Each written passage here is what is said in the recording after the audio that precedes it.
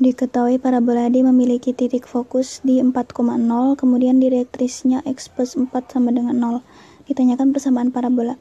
Langkah yang pertama yaitu kita menentukan titik puncak dan bentuk parabolanya.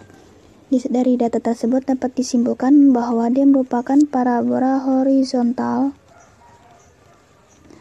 yang memiliki titik puncak di O yaitu 0,0 dengan P yaitu 4 dan persamaan parabolanya yaitu y kuadrat sama dengan 4px.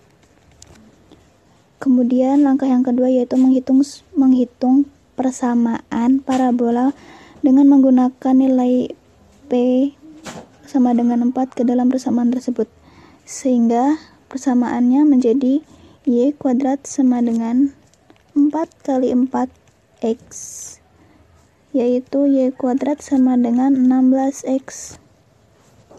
Dan jika digambarkan dalam garis itu melalui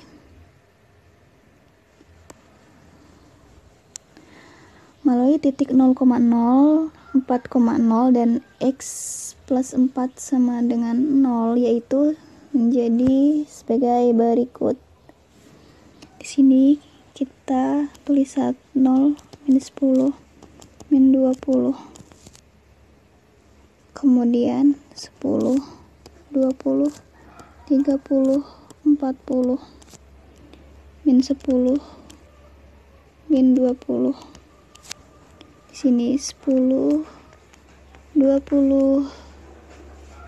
30 kemudian melalui 0,0 maka dapat kita tarik garis seperti ini.